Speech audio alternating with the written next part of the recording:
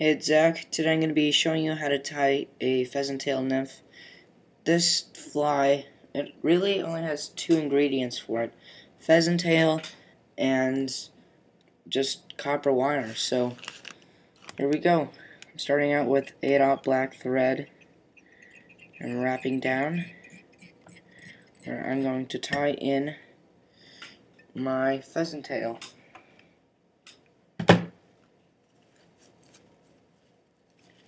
Now, look at, there's two sides of a pheasant tail. There's like a kind of grayish area, and then there's just nice side right over here. I'm just gonna, I'm taking the grayish area because it's more natural looking in the water.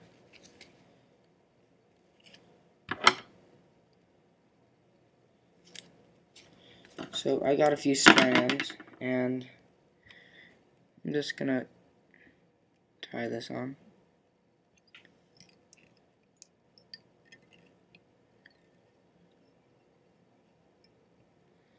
Alright. And now I'm going to get my copper wire here. And I'm going to tie that on. The copper wire is for protection of, like, you know how the fish bites and it really it could fray up your fly and damage it a lot. This helps prevent that from happening. Just like on the Caddis, I used that uh, fishing line to protect the hackle fibers. Same idea. Right now, I'm going to build up an abdomen here. So when I wrap the pheasant tail, it'll have a base. This is a beadless pheasant tail nymph. You could add a bead. Actually, I would recommend using a bead, but I don't have any. So, I'm just going to have to make one plain. So, I'm just taking my my pheasant fibers, fibers, and I'm just wrapping them down my abdomen until there you go this is where, let's give it one more wrap.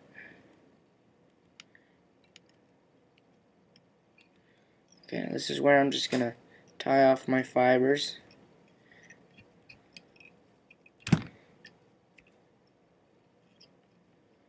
Okay, I'm just going to take my scissors and snip them off. And I'm going to take my copper wire just make a little wire rib. This also adds a bit of flash to it. There you go.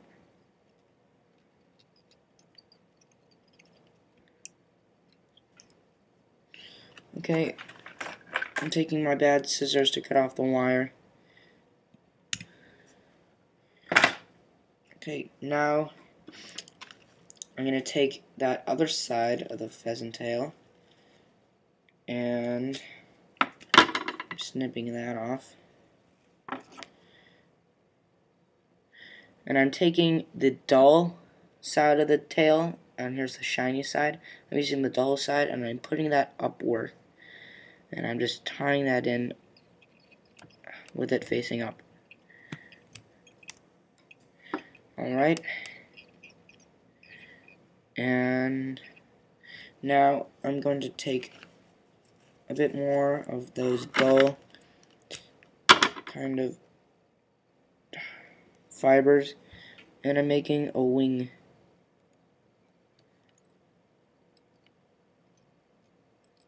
A few wraps there. And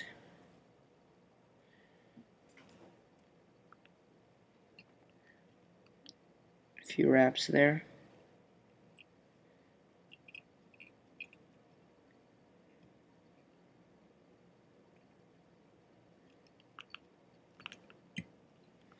Okay. I'm going to come back over here and I'm going to slightly dub so it builds up a nice head. I'll be using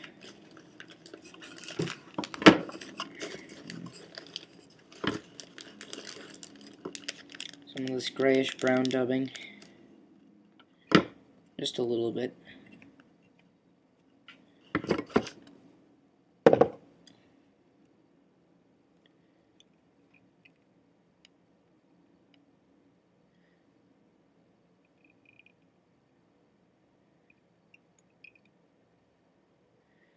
Alright, now I'm going to bring my thread up to the head and I'm going to take these pheasant fibers and just bring it forward.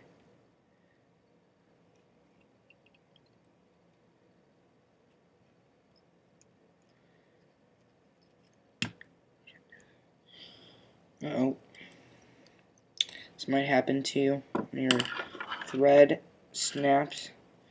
I'm just going to put it back on. No big deal.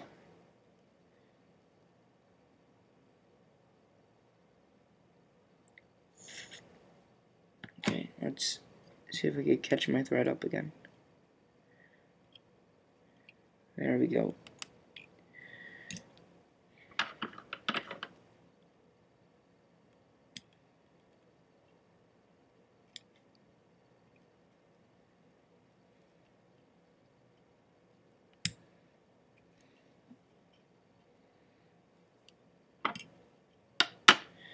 Okay, now I'm gonna just whip finish.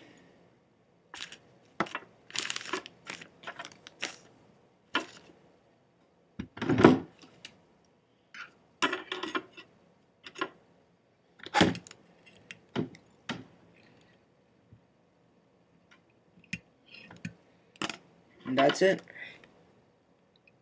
My pheasant tail nymph.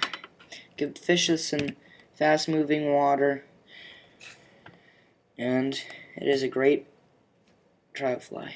Thanks for watching.